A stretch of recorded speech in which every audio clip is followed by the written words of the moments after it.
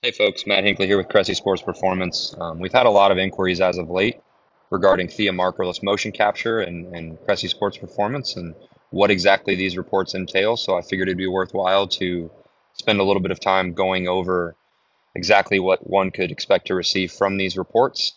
Um, just as a preface here, before any of this data is collected, we set up an eight camera setup right out on the baseball field. There's zero markers involved, hence the name Theia markerless. Um, athletes simply throw a bullpen. We we ask that the athletes are built up relatively well, so we make sure that these are relatively high effort. I mean, 95% and above effort fastballs.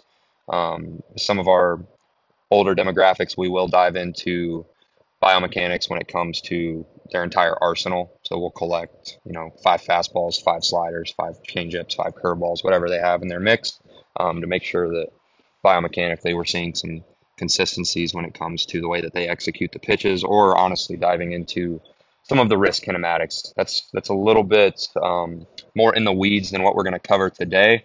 The athlete involved in this report is actually a high schooler from Texas. Um, figured it'd be worthwhile to kind of go over the X's and O's of, of exactly what we're doing with these reports and um, at least giving a general overview. So, first thing we do when we sit the athletes down is we go over a quick summary um, we highlight things kinematically that they they're either doing well currently. Um, we talk about some things that may need improvement. So in this athlete's case, his hip shoulder separation was something that we felt, um, based on his range of motion potential, could have vastly improved. You can notice here 11.6 degrees of hip shoulder separation.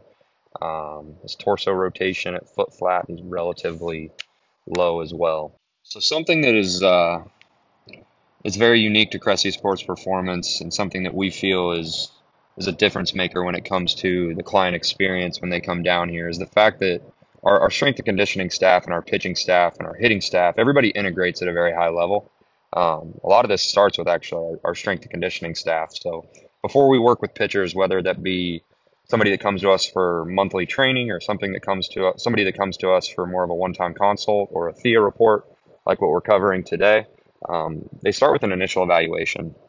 We've over the years we've compiled a lot of this this data that we collect to try to track trends when it comes to high level movers. So essentially, every athlete that walks through our door goes through a, a series of passive range of motion screens, um, active range of motion screens, power testing, so on and so forth. And, and what we've done is we've we've then been able to um, draw comparisons based on the way guys move and this is something that we feel is is very very important. Uh, in short, all I'm saying is if if if I'm going to ask somebody to do something with their delivery, I, I, better make sure first and foremost that they have the requisite range of motion to get into the positions I'm asking them to get into. Um, and if they're if they're trying to use range of motion that they don't possess, um, that's when we see things like erratic command, erratic velocity, so on and so forth. So, cool thing is is when we're evaluating guys, there's no right or wrong. We've got athletes that um, look significantly different. We've got athletes in the major leagues that we work with that are relatively stiff in, stiff in their upper bodies. We've got athletes that we work with that are stiff in their lower bodies. We've got guys that are loose everywhere when it comes to range of motion. Um, that's the cool thing about baseball is is there's a lot of ways to skin it. There's a lot of ways to move. Um, it's it's kind of contrary to the whole ideals of you know one mechanical model being optimal. Um, if you've if you've screened athletes for any extent of time, you can appreciate that everybody's built different, and we believe that it's a value to embrace those differences as opposed to trying to correct or run away from from anything they do that might stray from the norm. So in this in this athlete's case, I want to highlight the fact that he's a narrow infrasternal angle guy, and when we evaluate narrow infrasternal angles, what we expect is a, is a lot of uh, rotation capacity. So, as in this athlete's case, you can see that he's got a lot of um, external rotation in his hips, a lot of external rotation in his shoulders, and a relatively high amount of like thoracic rotation ability. A little bit of a difference between his active and passive range of motion, which is something that we can work to improve. Um, but in general, when we when we see guys that are narrow infrasternal angles, we we expect to see a lot of rotation. Um, this athlete currently, with the way he, he uses his delivery, is not optimizing this potential, and that's what we're going to cover um, as we move forward here. he's got a lot of range of motion in his shoulders. So 135 degrees passively um, is, is quite a bit of, of external rotation. And when you're evaluating the colors on the left hand side here, I should have said this as a preface. Um, if you see red, think small range of motion. If you see green, think large range of motion. So a lot of uh, upper body IR, a lot of upper body ER, plenty of shoulder flexion. Um, when we when you see zero when it comes to elbow extension, just try to picture in your head the athlete's arm completely straight. If you see anything positive, you can appreciate that their arm would go past 180. Um, so in this in this athlete's case, a little bit of stiffness in his lower body, which is probably protective tension. That's something that we're going to cover here in a little bit. Plenty of uh, upper body range of motion. Um, what's interesting, and we kind of highlight this right here, is he's relatively limited in hip abduction, which is essentially his, his groin length uh, passively on the table. Yet he ranks really high in our data set as far as his stride length is concerned. So it's something that we we found to be interesting. Um, in our experience, using the range of motion that you have, so in this athlete's case, external rotation in his hips, external rotation, external rotation in his shoulders, a lot of thoracic rotation, relatively good ankle mobility is, is generally a good thing. Um, trying to chase big positions and ranges that are passively limited is a is a recipe for disaster in our experience. So, after we spend a little bit of time covering um, the the potential of what an athlete might be able to do based on their range of motion um, with their initial evaluation, we work really hard to find um, high level movers that are relatively good comps from a range of motion standpoint. So this top athlete is an actual major league pitcher. Um, that is very very similar when it comes to his his movement capacity um, based on his range of motion. So every athlete that, that walks through the doors at CSP goes through this eval process, and then what we are able to do um, is, is, draw comparisons, and we built out some tools that allow us to do this in the background. We're able to draw comparisons based on the different ranges of motion for each joint to try to drum up a, a good comparison for the athlete. Because if I'm gonna if I'm going to give somebody a, um, a movement comp, I first and foremost should make sure that the, the range of motion potential matches. Um, the top eval, um, I'd, I'd actually argue is a little bit stiffer, has a little bit less rotation potential, but rotates at a relatively high level. Um, he's a major leaguer that throws in the mid 90s. This bottom eval is a high schooler that's flirting with 80 miles an hour right now. Um, we're hoping that after some time, following the, the recommendations that we we provide at the end of this this Theia report, he's going to find his way um, into the mid 80s and beyond as he as he progresses in age and strength and so on and so forth. So, but if you can appreciate relatively similar amounts of passive T spine rotation, um, both of them biased external rotation as opposed to internal rotation, especially in the lower half. Um, so we're looking at the lower halves here. We've got a guy that has an ER bias, is what we would call it. We got obviously that the athlete that we're covering in this report we've already discussed has a very very ER biased um, body. Um, if you go, if we get pretty granular, you, if you're splitting hairs, we can talk about okay, like this athlete has a ton of ankle mobility, this athlete doesn't. Um, there's there's something to be said for the individual differences, and when we throw these comps out, we're we're very very adamant that like, hey, we're we're looking at trends here. I don't need you to copy every single inch of what this athlete's doing. I want you to take away more of a, a macro or bird's eye view as to what this athlete is doing to to generate velocity and and stay on the field and be healthy and all those other things. So after spending some time talking about the actual physical evaluations and the passive range of motion potential, um, we immediately dive into the actual biomechanics when it comes to um, the way that athletes move, and and we try to give the athlete that we're sitting down with a a picture of the actual objectives that we're going to chase. So the top uh, GIF that you can see there, GIF, GIF. You guys tell me. I don't I don't really know which one it is, but I'm going to commit to GIF. Um, this is the major league pitcher that it's in the mid 90s. Um, this is the high schooler that is that is currently flirting with 80 miles an hour and um, we, we try to cover the big big heavy hitters. Like I said um, the previous slide, it's it's less about trying to create an exact replica of the athlete above It's more about looking at overall principles and, and, and trying to understand. Um, okay, this athlete has a lot of external rotation. This athlete has the ability to rotate through his T spine. He's tapping into this potential. This athlete has a lot of external rotation in his hips, a lot of thoracic rotation ability, and he's he's not using um, very much of that potential currently. Now, then we have to peel the layers back and go, okay, is this a is this a strength issue? Is this something that's neurally just been programmed to him? Has he been working with a coach previously that's just drilled in a very linear move um, into this pitcher's head over the years? Um, it's it's it comes down to asking very pointed questions at that point. Um, that's why it's it's we feel it's it's relatively negligent to just stare at the biomechanics and and dive right into interventions without understanding all of the context involved. Um, but if we're looking at the actual deliveries, you can notice that big league athlete does a really good job of holding a relatively vertical shin. That's something we see with the ER bias pitchers relatively frequently.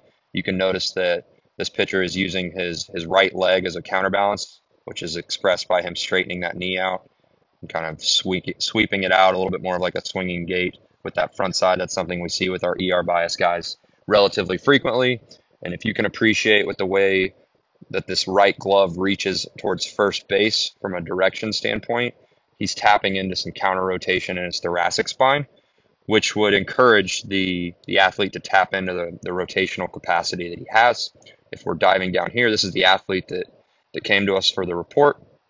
Really, really linear takeaway in his upper half, um, instantly falling into hip internal rotation. So you'll notice this knee is essentially going forward straight away, not really holding that knee over the rubber as well as we think he could. Um, he's diving into a ton of internal rotation in his front hip, which is expressed by um, the amount of flexion that you can see in that front knee.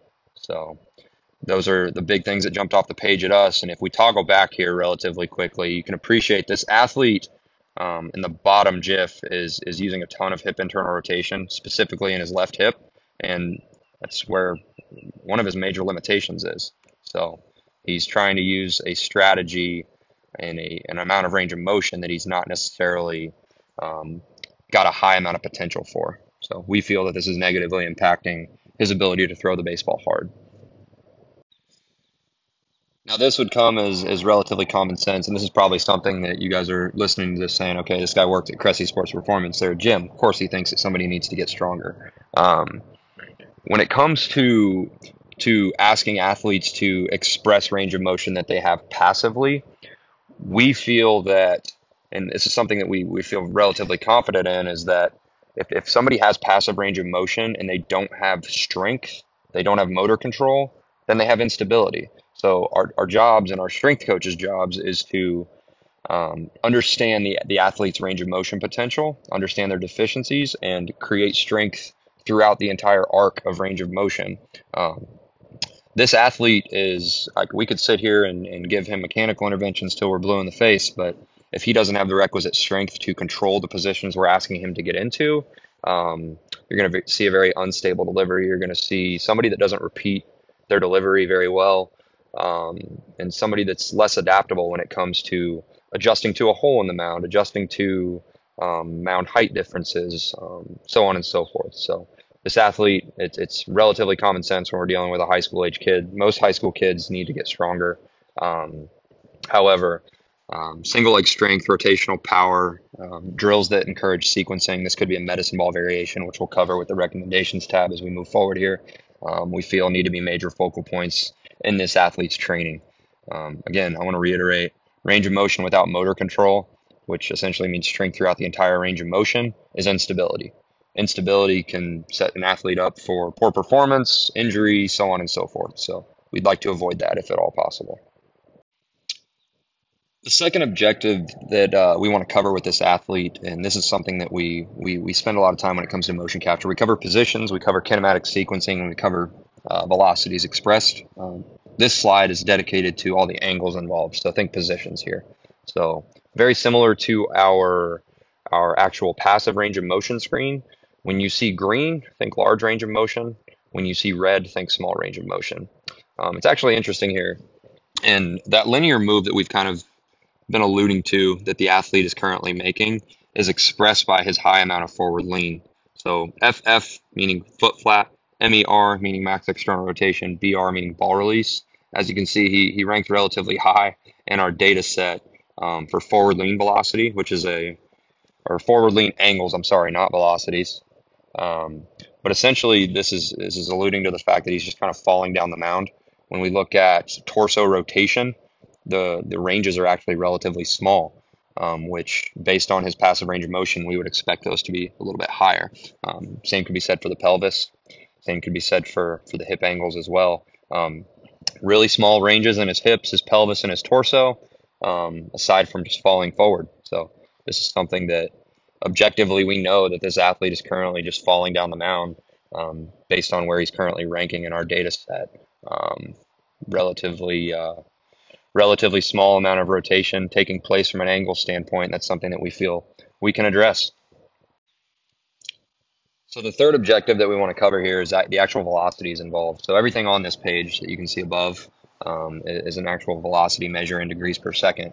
Um, same could be said based on the ranges. So if you see green, think fast. If you see red, think small. If you see yellows and reds and oranges, um, I'm sorry, if you see yellows and oranges, think more moderate um, velocities. So in this athlete's case, when it comes to his torso, his pelvis, um, even his shoulder, that relatively low scoring and or relatively low ranking in velocities, and this is due to the, the aforementioned positions that he's been putting himself into. Um, this knee flexion extension um, velocity is essentially like more of a traditional block.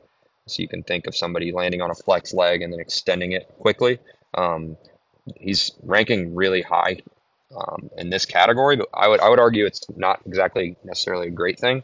Um, he's he's relatively hypermobile as an athlete and he's falling down the mound and a guy scoring this high when it comes to his actual knee extension velocity I, I would I would argue is is potentially exposing him to a potential knee injury if we don't create some more stability in his lower half.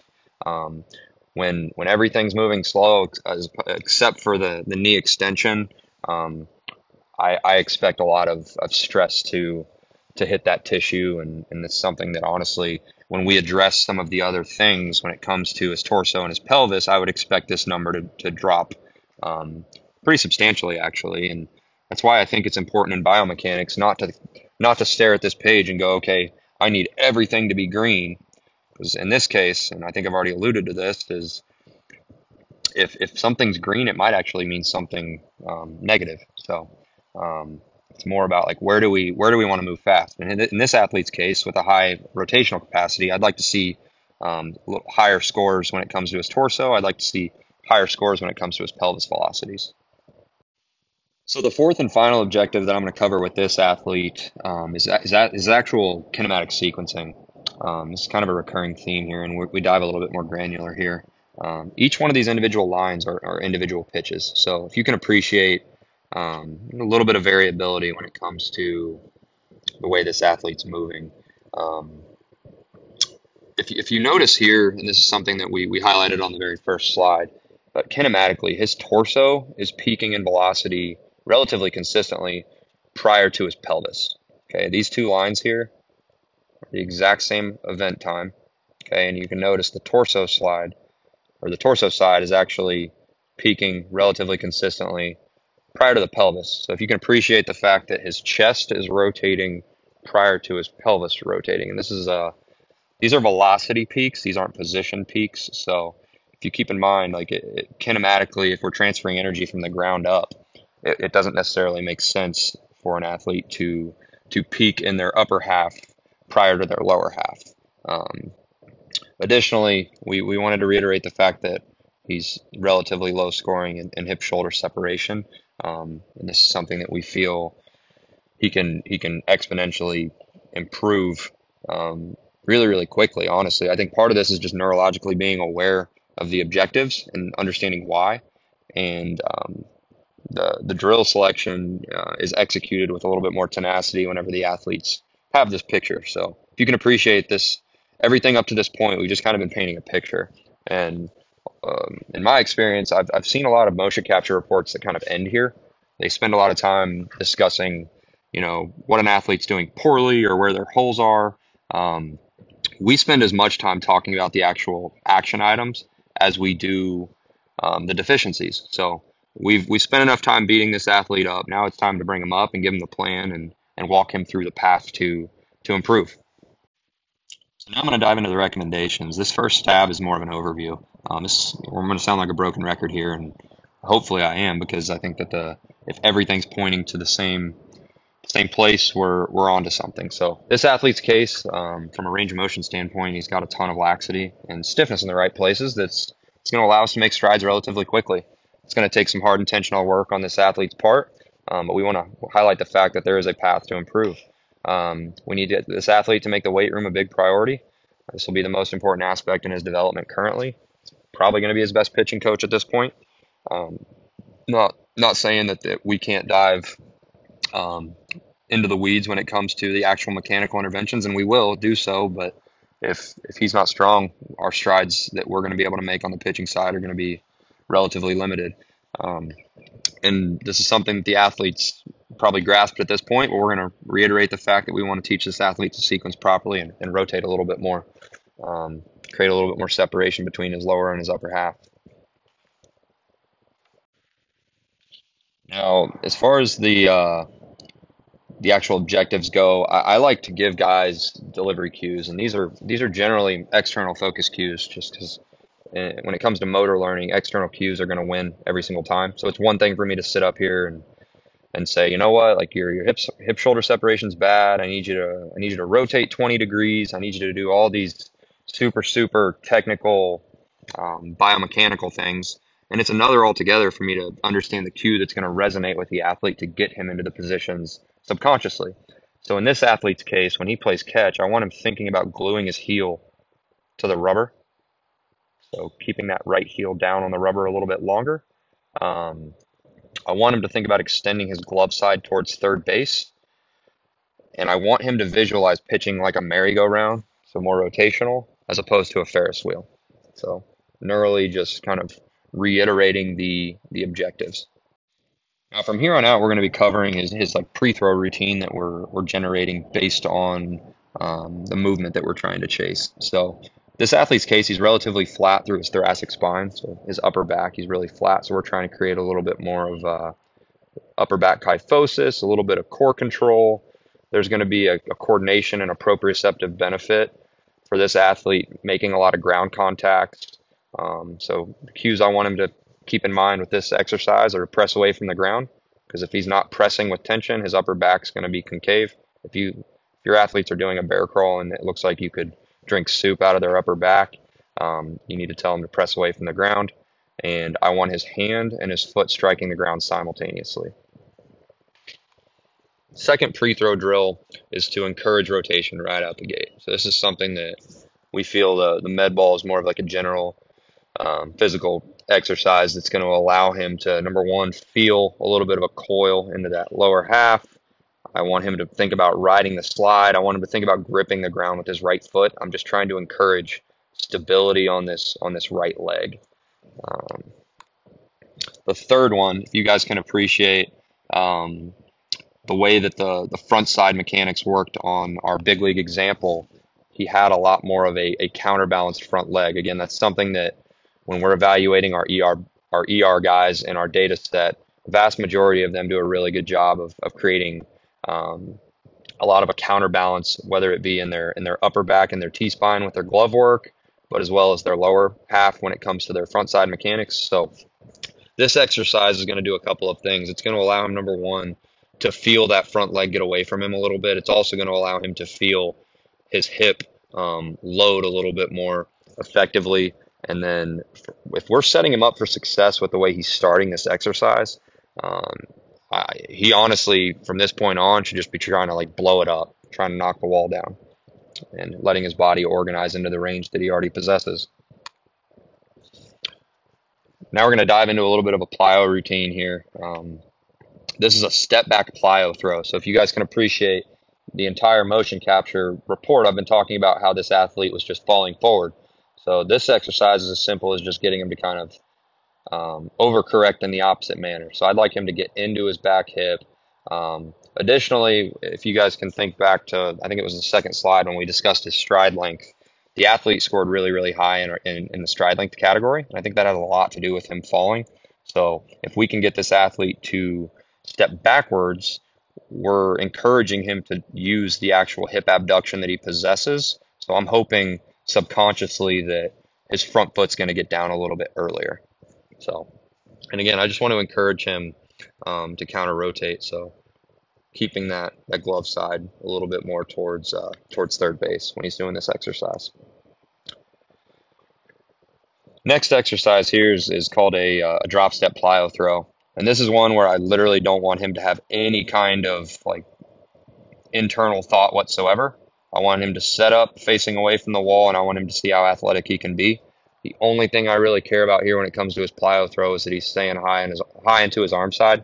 Um, if you see athletes that are you know within 10 feet of a wall throwing the ball right in the center of their body, right in their midline, um, more times than not, they're encouraging like a, a very cutting uh, dynamic when it comes to the ball in their hand. Um, I just want to move in like an athlete here and tapping into some rotation. If you can appreciate when when Riley's doing this drill, if you watch his front side mechanics, that left leg will actually straighten out on him and give him that element of counterbalance. So that that ER bias move that we want to encourage. So biggest thing I can tell you guys is that if if we understand granularly how the athlete moves passively and then we evaluate the actual the actual movement involved, we can get deep into the weeds, but then it comes down to something very, very digestible and simple. So in this athlete's case, he understands why he's doing these drills.